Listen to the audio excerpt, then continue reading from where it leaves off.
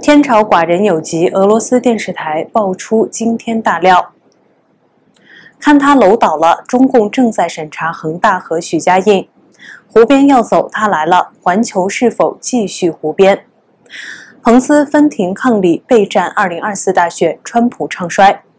大家好，今天是美西时间十二月十五日，欢迎收看第二期《望维读报》，我是 Cherry。十五日周三，中共国家主席习近平在北京同俄罗斯总统普京举行视像会晤。俄方发布的影片意外出现了习连咳三声的画面，其后又连续咳嗽，令外界质疑一尊的龙体安康状况，担心他是否长期君临天下。据俄方发放给国际媒体的两三分多钟的影片显示，习近平和普京两人在会晤开始时互相挥手，在影片播出约四十秒后。习近平连咳三声，不过中共中央电视台的视频没有这一段。根据俄罗斯电视台直播的图像，普京说他计划于二月在北京与习近平亲自会面。按照约定，我们将举行会谈，然后参加冬奥会的开幕式。习近平近年的健康备受关注，已有几次异常表现引发猜测。习近平二零二零年十月上旬南下广东考察，参加深圳经济特区建立四十周年庆祝大会并讲话。也曾因为频频咳嗽，意外成为关注点。此次视频显示，习近平讲话语速较平常缓慢，在致辞进行到四十四分钟时，又突然传出了一阵咳嗽，引起台下来宾的注目。而且在接下来的几分钟内，习近平仍不断咳嗽，并频频的停顿喝水。中共央视在进行活动直播时，只要习近平出现咳嗽、拿水杯的画面，就会马上切换画面拍摄台下来宾，直至致辞。快结束时才回到习近平的画面，但收看直播的观众依然可以清晰地听到习近平咳嗽和拿水杯的声音。习近平二零一九年三月二十五日访问法国时，也曾因为走路不稳的姿态引起社交网络关注。社交媒体一直广泛流传着习近平与法国总统马克龙在凯旋门检阅仪仗队时，身体两边摆动，脚步不平衡，步伐零碎，似乎无法迈开双腿的说法。对此，有人认为或与其健康异常有关，一些国际媒体还因此引申到习近平的接班人问题。中共领导人的健康状况是国家机密，除非本人去世，官方不会披露任何相关的资料。一九七六年夏天，中共最高领导人毛泽东已病入膏肓，但北京当局对外依然保持一致口径，指毛身体健康。今年十一月上旬的中共十九届六中全会所通过的第三份历史决议，据官方称是确立了习核心地位和习新时代。思想的指导地位，特别是将中共党史做三分断代，邓江湖并在一代，习成为新时代的旗手。但同时，六中全会并没有任何有关习近平安排未来接班人的迹象。台湾政治大学国际关系中心主任、东亚所特聘教授寇建文早前表示，习当政十年，从官方报道的画面来看，他到外面调研两三天后，体力就会有一些下降。但是对于威权的领导人来说，通常不会。直接在他准备要交出权力之前就开始安排接班人。台湾民主基金会副执行长严建发则表示，习的新时代来临，中共就是到最后了。因为万一习出了问题，恐怕没有人能够扛得起，到时中国可能会要进入各地割据时期。中共治下一切都是拍脑袋、摸石头，缺乏科学决策和普世治国标准，忽左忽右，给国家发展造成了一场又一场的灾难。改革开放后，权力与资本勾结，权贵资本主义野蛮成长，不仅搞乱了国家经济，也危害到了中共政权的安全，且涉及了中共权力斗争。这样，随着各方权力消长，就总有一些白手套要被当作替罪羊。据路透社援引两名知情人士透露，中共当局正在审。审查中国恒大集团及恒大董事局主席许家印的资产，但预计恒大目前不会低价出售。之前是还称恒大的可流动资金严重匮乏，以往的国资重组方式不一定适合恒大。路透社报道，这一审计凸显了在恒大未能支付两笔海外债券，引发重组以解决恒大逾三千亿美元的负债后，北京方面正在接管恒大。消息人士表示，评估资产价值并确定是否存在任何。和隐瞒资产，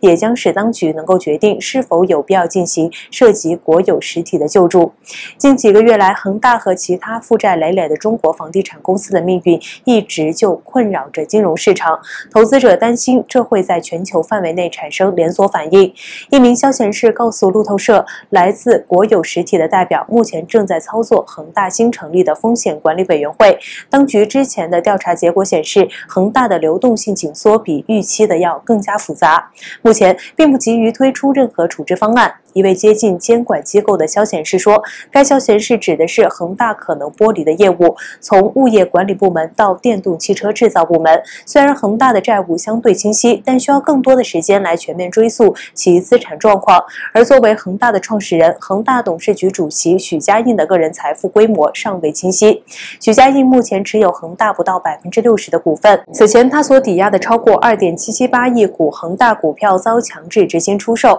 使许家印的持股股比例由百分之六十一点八八进一步降至百分之五十九点七八。两名之前是曾在十月份告诉路透社，中共当局要求许家印动用部分个人财富用于帮助支付债券持有人的应付款项。许家印已经通过出售包括艺术品、书法和三套高端住宅在内的奢侈品资产来变现资金。有评论指，许家印代表了江泽民、曾庆红家族的利益，曾经叱咤商海，赚得盆满钵满，一朝习近平。上台就成为被清算的对象，真是应了“孔上任桃花扇”中的那句话：“眼看他起朱楼，眼看他宴宾客，眼看他楼塌了。”